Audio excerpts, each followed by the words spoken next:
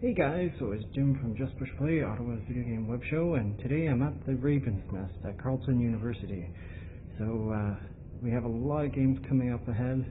Hopefully you guys keep on watching. We really appreciate it, and uh, it looks like a lot of people are really enjoying the videos as well. So uh, hey, you know, since we're at the Raven's Nest, maybe we'll have a basketball game in the future, and uh, you know, maybe we'll even record inside the Raven's Nest. We'll see one day if we can get the, the right permission to do it. So, anyways, keep on gaming, and we'll see you guys soon. Bye. Gang bang, it's gang bang bang bang, gonna get me go crazy, never wanna stop. It's gotta be you Tonight, ooh, with your bushy beard. that I don't have. Weep for it. So, anyways, Today we're playing Gang Beasts. I think I said game bang. anyways, what I was gonna say, this is the only game I've ever played where groping an old man is a-okay because everyone's drunk as AF. And you can toss him into the fires of Mount Doom. It's really awkward because like it's like groping up and like he's climbing you, and it's like what is going on? Like who who is groping who and why and like why is everyone in this game like crazy? Because like you see people like fall down the sides online. I've never seen a video game before where you you know Beat each other up. everyone no one makes any sense. No one makes any sense. It's like One everyone's dressed like Brent Sanchez. Every, everyone's joystick seems to be broken when you play online. Like, like ours, I don't know why, but like we have a controller that, that likes to go off kilter. But like people, for some reason, fall off the cliff for no reason this game. And I notice like they'll do stupid things, like they'll fall over the side of the, the bridge, or like that guy that fell down into the pit. Like, I don't know what he was thinking to do. He didn't even win in the end, did he? The guy that fell down on the second level. Yeah. Right away. No, he didn't win. No. And this game reminds me of uh, Drunk Fu Fighting. But I don't know, they're very similar, but I felt like I could actually. I don't know, they play really similarly, similarly but this game's more polished. Oh, yes. It's obviously it's been a lot longer. Um,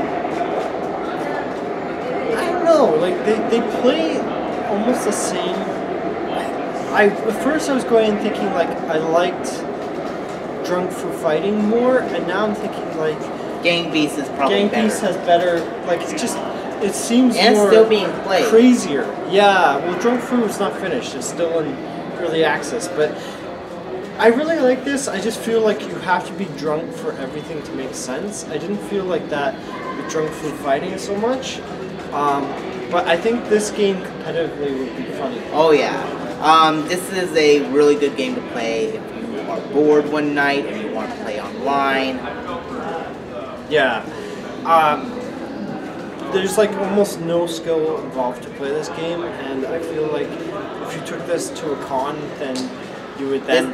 this is definitely a con game, I will say. Um, Yeah, the, I don't know why it's not being taken to a con here in Ottawa. Like it should be. The only problem I, I see is you. It's only local multiplayer and online multiplayer. Like like if you You can't mix and match. no There's you no can't, AI. You, you can't. Yeah, no AI. That that's. I don't know. You think it wouldn't be that hard because it's but pretty basic. There's also no um, actual tutorial on how to overall play the game, so it's like you have to guess. So I have to check my controls. It's like hit and miss. That's like at least with Drunk Fu Fighting, that's what I think I was getting at. I just didn't realize that at the time and articulate. But you you can see what you're doing. Yeah, your characters are like wobbly, but like with this, it's like everything feels like random. Like even Yeah. your movements. With Drunk Fu Fighting, I felt like at least you had a bit of control. That's my main criticism of this. Like I guess in a way it makes like people that play video games all the time, it balances it out with people that don't. But with that said, I, I can see like it takes a certain if you want precision precision in this game, you're not going to get it because that defeats the point of this game. So if you're used to like Street Fighter where like you're trying to deke out the person. Or Super Smash. Bros. Melee, where you have to rely on glitches, legit, honest to god glitches, to actually. Uh, That's the thing. Like this game is totally not that, and I, that's why I feel like I, I think that's what irks me with this. I, th- I think that really is it. Um, so um, I don't know. I don't know what you what do you think? I, I give it an eight out of ten. I I'm not sure if I give it more. Like I like it, but I just feel like I, like, it's it's like the melee people would be upset with this because there's no like it's not it's not like skill as much as like just random walls. Yeah. I like this game. I really like this game. all stages, all items. I I can only recommend this game if you are really dedicated to like playing this game multiplayer, Yeah. or if you have a bunch of Locally? friends I mean locally, um, online people or online local. are weird. Yes, but that's the fun thing. People online are weird, and you get a lot. Like this game is better watched than played sometimes. Yeah. Because if you're shit at it, you can just get yourself eliminated and see two of the best people duke it out in this epic Or the fight. dumbest people. You get you see people doing crazy cool tricks like. Um, they, like Yeah. At one point, all You were like this. like three of us, three You were just standing there doing nothing, Yeah. The, guys went up to you and you threw them off the building. Yeah, three characters, uh, including me, fell off into a fan, but one of them managed to survive and hang on long enough to get the win. I think that person knew what they were doing. There's no way that. Yeah, there's no way that they didn't know what they were doing. So, I, I think yeah, I think that's the biggest appeal of this game. It just uh, you have to like your game random and You have, yeah, this is just, this is basically, this is more of a entertaining game than it is a competitive game.